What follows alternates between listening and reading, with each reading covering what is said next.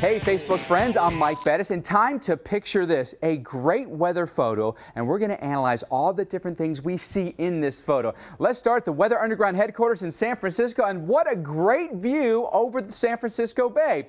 Take a look at the different things that we see in this picture, including this cirrus deck out there, those thin, wispy clouds. No precipitation falls from those. What else do you see? Well, how about over here, the Berkeley Hills?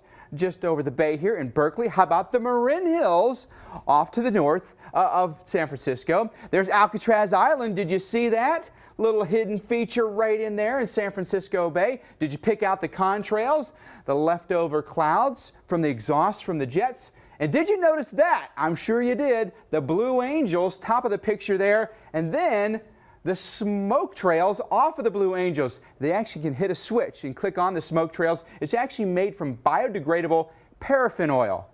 Awesome view with the Blue Angels in town over a gorgeous San Francisco Bay. You can go ahead and check like right now. And we'll see you on Weather Underground each weeknight, 6 to 8 p.m.